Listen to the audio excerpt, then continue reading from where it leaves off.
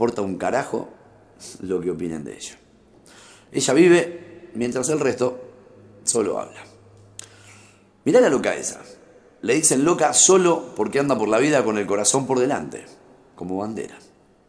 Le dicen loca porque no chamulla, porque va de frente, porque no se calla, porque cree cada vez más en los animales y menos en la gente. Qué loco, ¿no? Le dicen loca, se ríen de ella porque es diferente al resto, mientras ella se ríe de todos porque son iguales. Mirá la loca esa.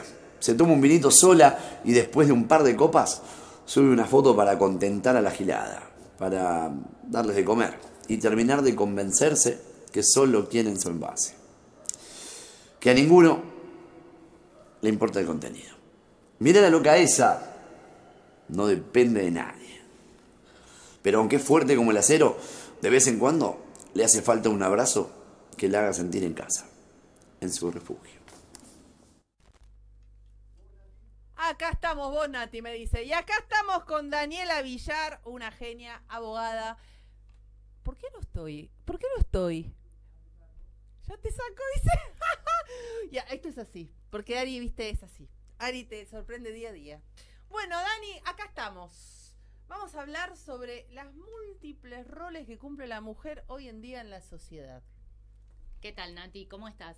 Un placer. Eh, somos múltiples. Las mujeres eh, cumplimos múltiples funciones y, yo creo que eh, desde que comenzamos la vida en familia, se hipermultiplican las funciones, porque viste que vos de repente te convertís en, en, una señora que hace remis.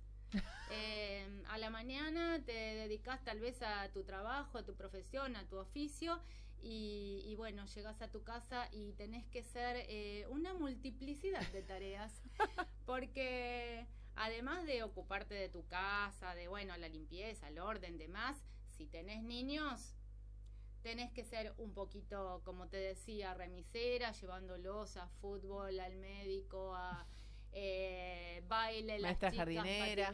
Bueno, eh, un poco de todo.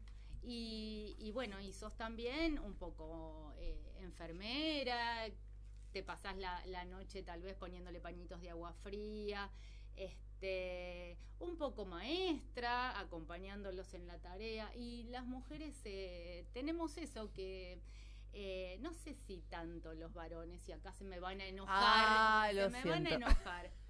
Pero a mí me parece que la mujer tiene esa facilidad de hacer a su vez muchas cosas eh, al mismo tiempo. Es verdad eso. Y, lo peor es que muchas veces no está tan reconocido. ¿Vos decís?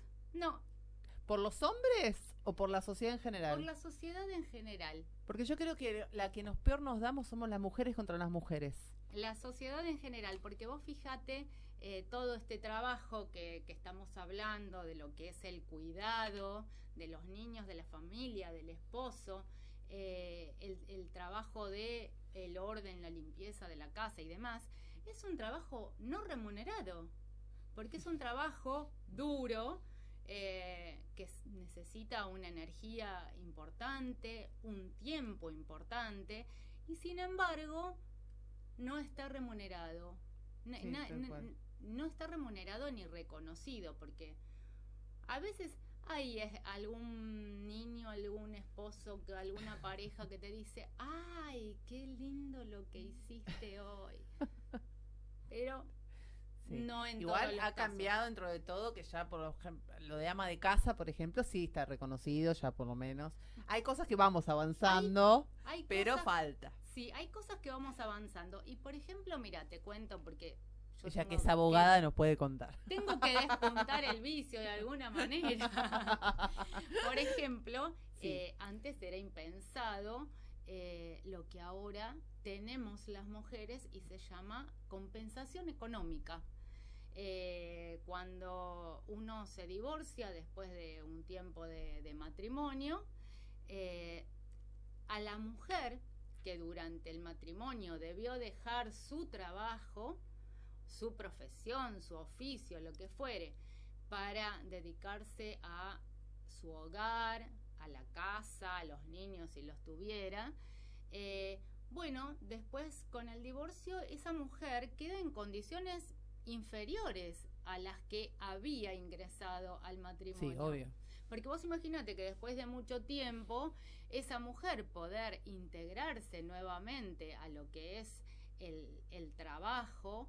eh, Y un montón de años de experiencia que no tuvo, un montón de cosas. es muy difícil. No, sí, hoy en día es imposible. Si ya tiene más de 40, te la veo, pero re, Tal que te re complicada. Quedaste afuera del circuito. Sí, más o menos. Y entonces ahí tenés derecho a reclamar a tu ex cónyuge una eh, compensación económica por todo ese tiempo que vos dedicaste a tu familia, a tu hogar, a tus niños en su caso, y que eh, perdiste de desarrollarte incluso, porque no solamente económico. No, obvio, todo.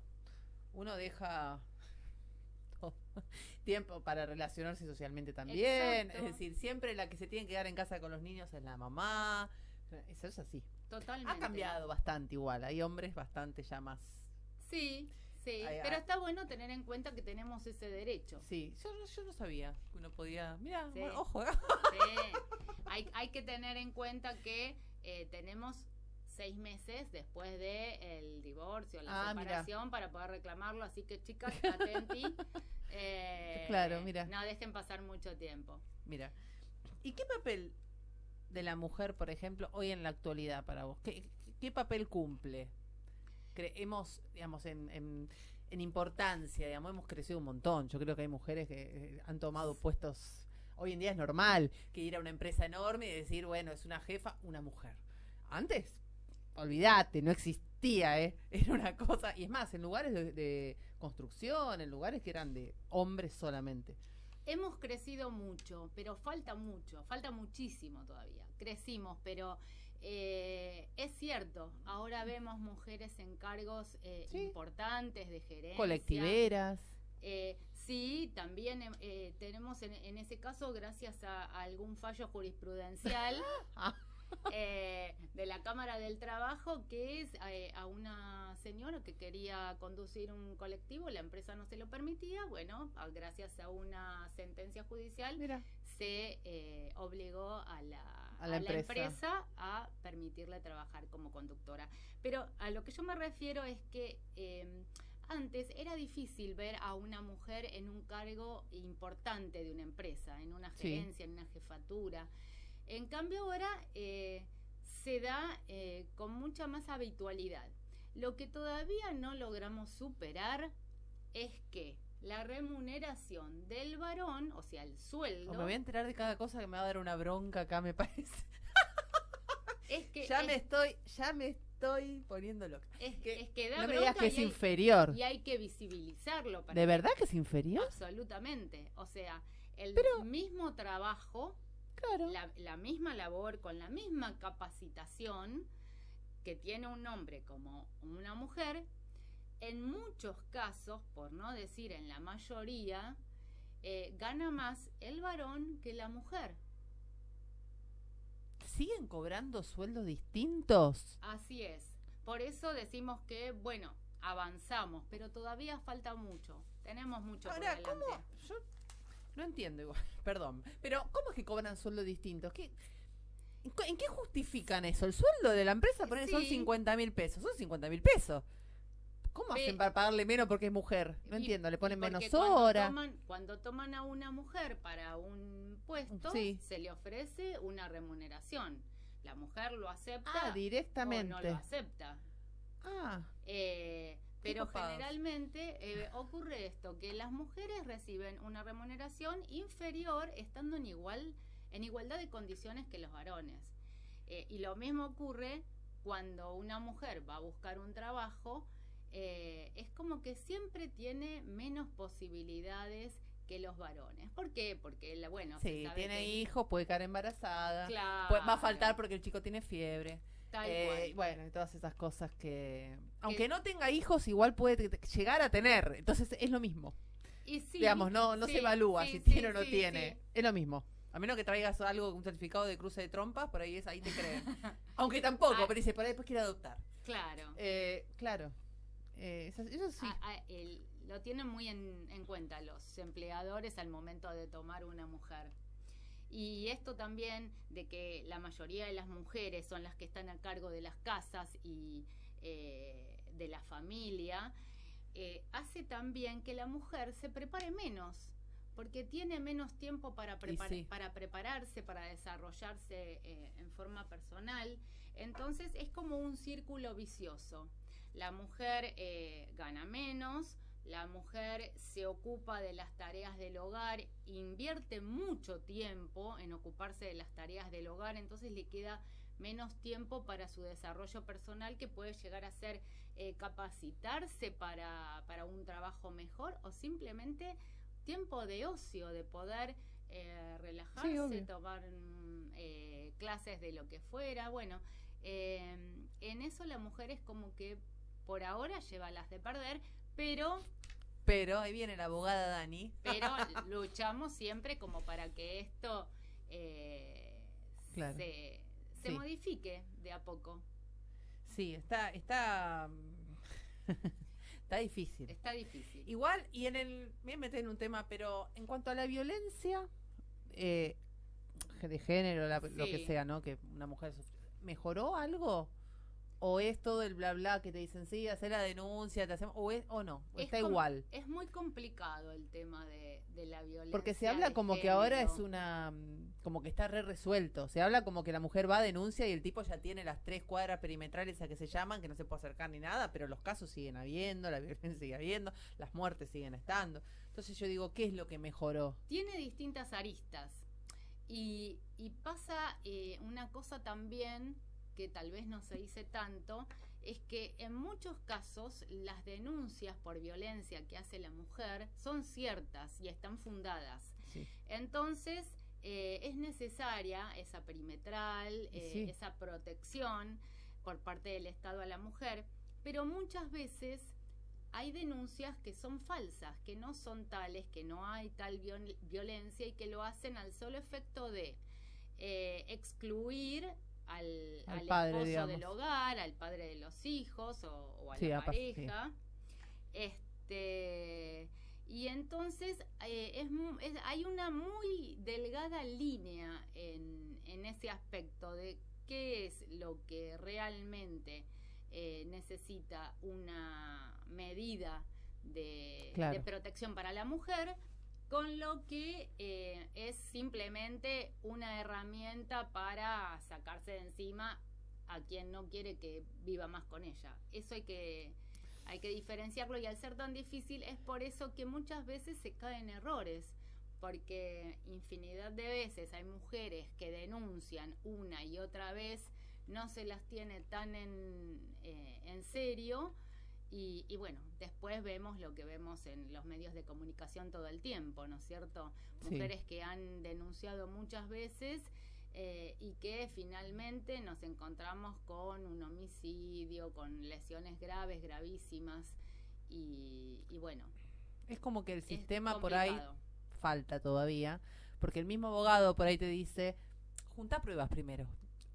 Y sí, Y vos decís, estamos todos locos. sí, Entre que estoy en el medio de la violencia, te juntar pruebas. Junta pruebas. Junta fotos, junta videos, junta todo lo que puedas y ahí sí hacer la denuncia. Vos decís, estamos, todos, estamos mal. Ahora, Es decir, Eh, otra cosa importante respecto de la violencia de género es que en general la comunidad cree que solamente los varones son violentos. no, Y no es así. no es así.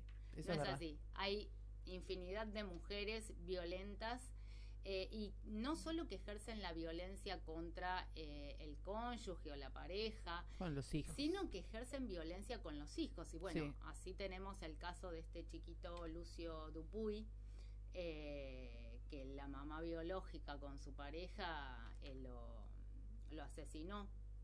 Este, No, yo el otro día vi un video de Instagram desastroso, que una mamá pegándole a la nena, pero de una forma. Yo no sé cómo lo habrán grabado eso.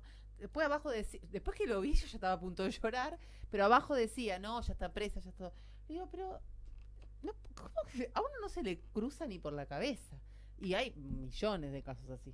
Ese porque tuvo la suerte que lo grabaron, Mm, no sé sí. cómo hicieron para grabarlo, pero Muchísimo vos no sabés más cómo de le- lo que uno se imagina, porque es- estas cuestiones ocurren en el seno familiar, en la intimidad de la familia. Siempre dicen eso, que siempre es un familiar directo. Entonces muchas veces eh, eso queda en el, en el seno familiar y no sale a la luz.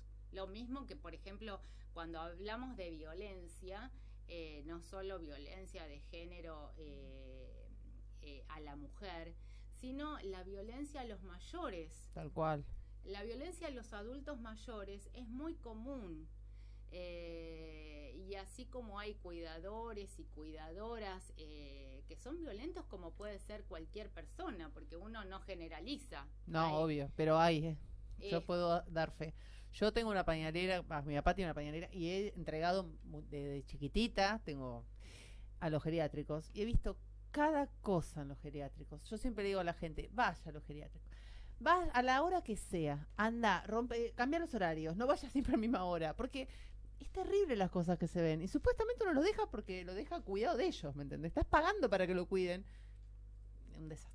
Peor Así que- todavía cuando eh, el, el cuidador o la cuidadora reside junto Ah, con no, el la abuelo o la abuela en la casa, porque en ese caso hay menos gente, menos testigos, digamos, Sí. y eh, tienen mayor libertad para, para Sí. desarrollar estas actitudes. Ahí la nefastas. tecnología ayuda, hay cámaras, hay de todo que la gente Sí. ya va poniendo. Yo en una época dejaba a mis hijos chiquitos solos, les ponía, ponía, no había otra. Y sí, Porque vos decías, bueno, no Sí. sé, súper recomendada, pero viste es que es la única manera de que uno se queda un poco más tranquilo. Sí. Vamos a cerrar con esta pregunta. Yo quiero, Dani, que me digas qué es lo que falta para vos. Tres puntos, pero de lo más urgentes que vos digas, estos tres faltan para que la mujer, que tengan, que tengamos que tomar posición, como decimos. Eh, ¿qué, qué cambios harías? Y en primer lugar, en visibilizar.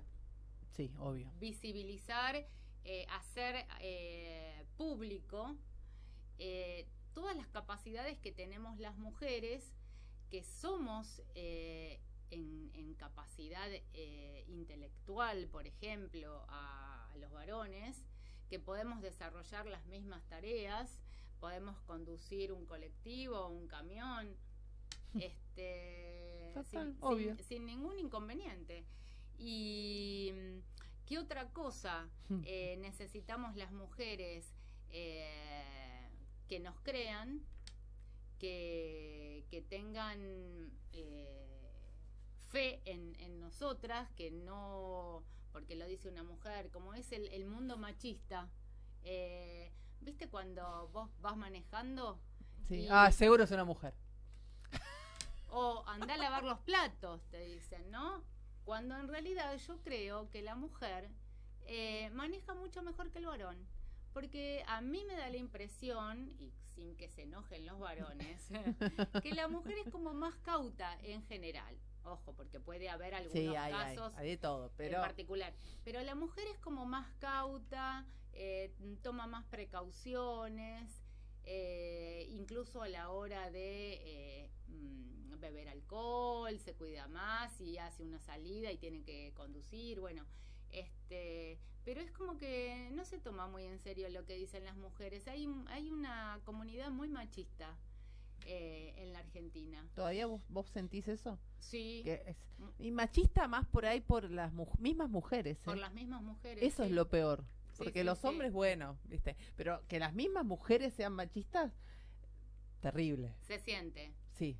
se Y aparte, la primera crítica siempre viene de una mujer. Yo siempre digo, pero flaca, es decir, es la primera que te critica.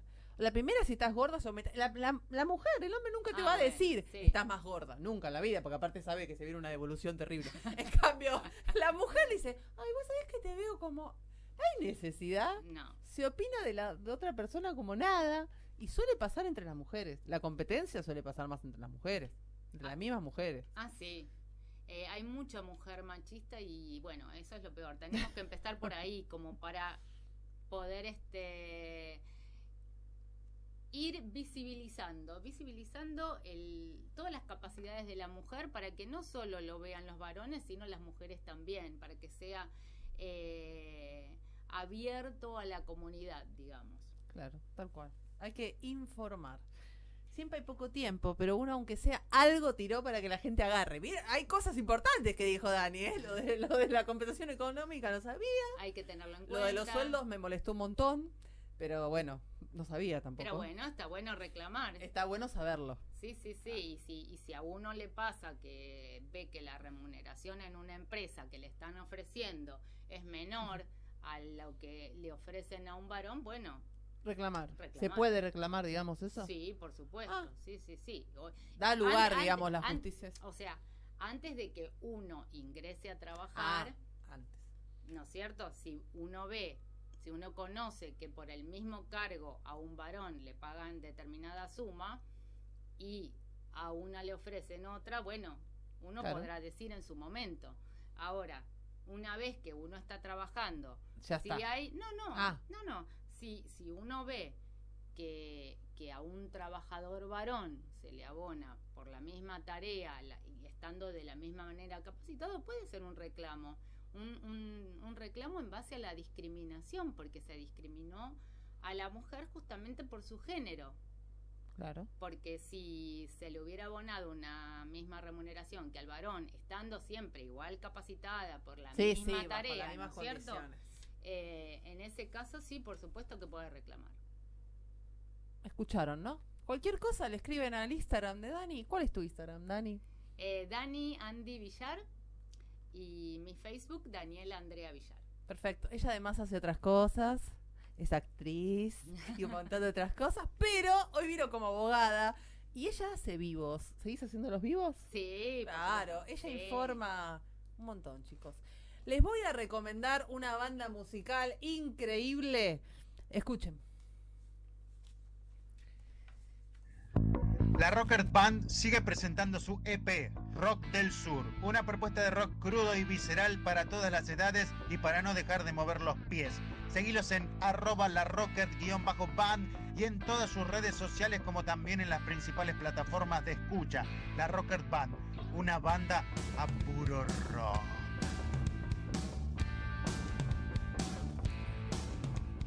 Les digo, lo que va a haber el próximo programa, vamos a tener a Mac Kubri, que es un genio licenciado en psicología, psicoterapia clínica. Vamos a hablar sobre el abuso emocional en todo tipo de relaciones y de autoestima. Él va a estar por Zoom, calculo, porque está lejos de acá, pero vamos a hablar con él. Y les voy a dejar la frase como todos los lunes para que piensen. La frase de hoy es, el que no sabe lo que busca, no entiende lo que encuentra. Toma, Ariel anota, porque Ariel se va pensando en la frase. Nos vemos. Gracias, Dani, por venir.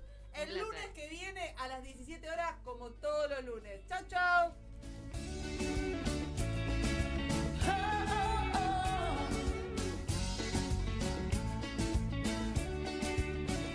No sé si soñaba, no sé si dormía.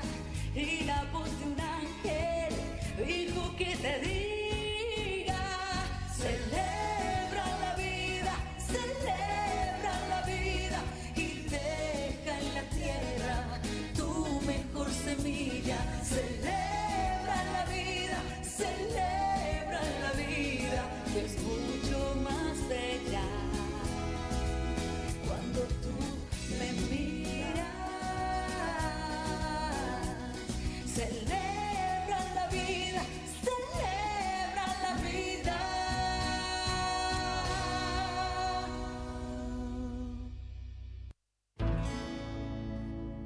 No sé si soñaba, no sé si dormía y la voz de un ángel dijo que te diga, celebra la vida.